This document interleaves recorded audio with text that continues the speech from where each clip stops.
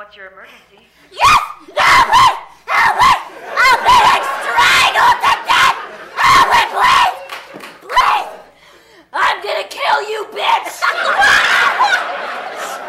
okay, stay calm. Stay calm. We're sending help immediately. Yeah! Got it! Yeah! Fuck yeah! Yes! All right. Right.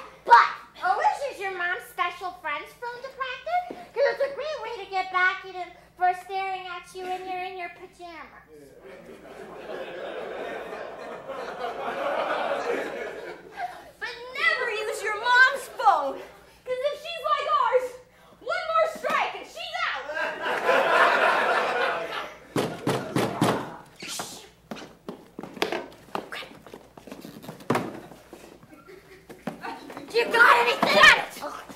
Who is it? Uncle Jerry, your mom's special friend. Hey, uh, oh. kids, you kids take my phone? Maybe we took your phone. Yeah. Give it back. Another important thing a latchkey kid needs to know is how to negotiate. What's it worth to you? Uh, I don't know. I got some spare change.